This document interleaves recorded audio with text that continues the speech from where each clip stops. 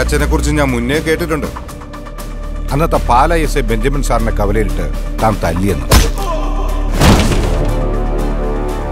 ഉള്ളതാണോ?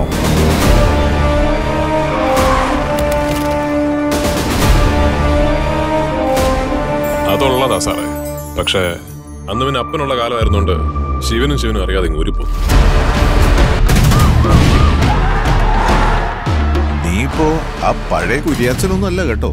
പത്തിരുപത് കേസുണ്ട് സ്വന്തം പേരിൽ. അപ്പൊ ഇപ്പൊ അപ്പനില്ല അല്ലയോ? ഇല്ല സാറേ. പക്ഷെ ആ അപ്പന് ജനിച്ചതിന്റെ ഗുണോട്ടും കുറഞ്ഞിട്ടില്ല. കൂടിയിട്ടേ ഉള്ളൂ. എന്നാ പിന്നെ കുളിച്ചോണ്ടങ്ങ് തുടങ്ങിയേക്കാം.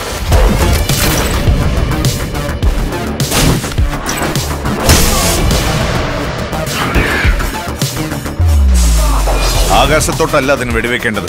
അവന്മാരുടെ നെഞ്ചത്തോട്ടാ എങ്കി പൊട്ടിക്കടാ.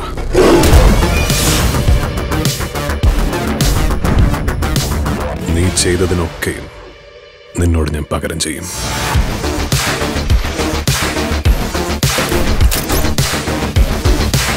ഇതുവരെ ഉള്ളതായിരുന്നു കളി. ഇനി അങ്ങോട്ടുള്ളത് യുദ്ധമാണ്